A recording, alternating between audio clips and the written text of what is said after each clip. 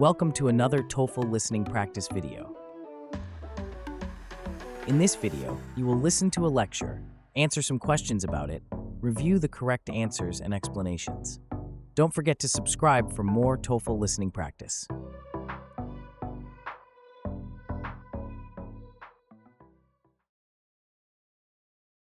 Welcome to today's lecture on epigenetics. In the past, we often thought of genetics as a fixed blueprint determined solely by our DNA sequence.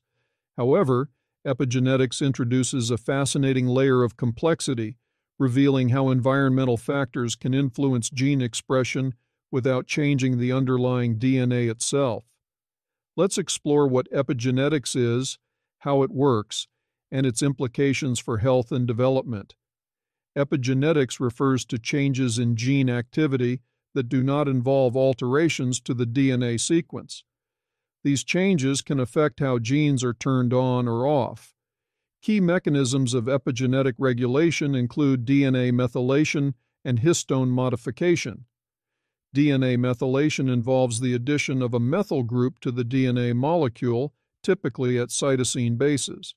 When methyl groups are attached to certain genes, those genes can be silenced, meaning they won't produce proteins. Histones, on the other hand, are proteins around which DNA is wrapped. Chemical changes to these proteins can either tighten or loosen their grip on DNA, influencing gene accessibility. When the DNA is tightly bound, genes are less accessible and less likely to be expressed. Now let's discuss how environmental factors play a role in epigenetic changes. Various elements such as diet, stress, exposure to toxins, and even social interactions can influence our epigenetic landscape. Nutritional factors can have profound effects on gene expression. For example, folate, a B vitamin found in leafy greens, is crucial for proper DNA methylation. A diet deficient in certain nutrients can lead to altered methylation patterns, potentially increasing the risk of diseases. Psychological stress has also been shown to influence epigenetic changes. Chronic stress can lead to the overmethylation of genes associated with immune response, potentially increasing vulnerability to illness. Exposure to environmental pollutants, such as heavy metals or endocrine disruptors, can lead to changes in DNA methylation patterns. For instance, studies have shown that children exposed to lead can have altered gene expression related to neurodevelopment. Interestingly, social factors, such as parenting and social interactions, can affect gene expression. Research on mice has shown that maternal care can influence stress response genes in offspring, demonstrating how early life experiences can have lasting epigenetic effects. Understanding epigenetics has significant implications for health and disease. Since epigenetic changes can be reversible, they open up exciting possibilities for new treatments. For example, researchers are investigating how to use epigenetic drugs to reverse abnormal gene expression in diseases like cancer. In some cancers, certain genes that normally suppress tumors may be silenced due to abnormal methylation. By using drugs that target these epigenetic changes, we might restore normal gene function and improve patient outcomes. Moreover, epigenetic mechanisms could explain why identical twins who share the same DNA can have different health outcomes.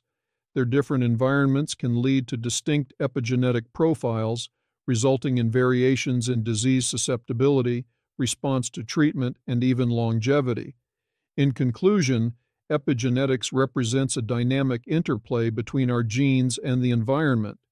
As we continue to uncover the complexities of epigenetic regulation, we gain valuable insights into health, development, and the potential for innovative therapies.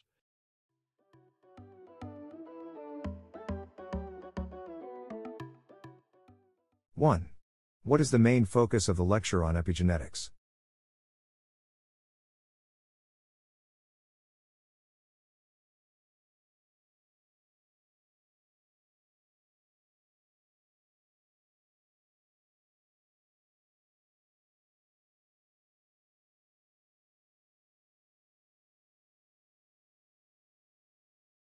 2. Which mechanism was specifically mentioned as a way to silence genes?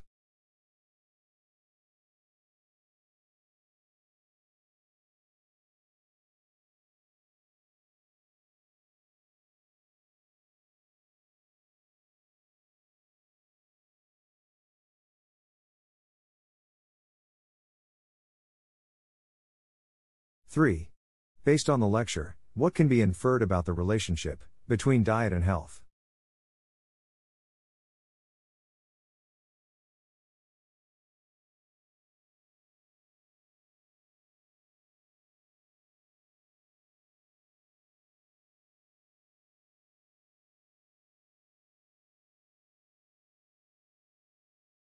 Four.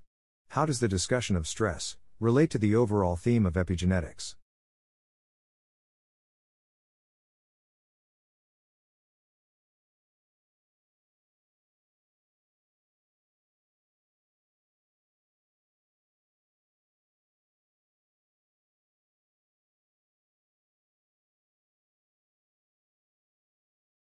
Five.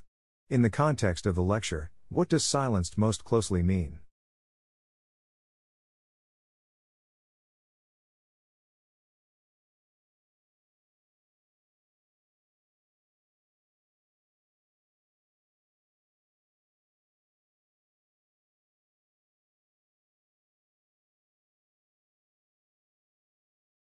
Six.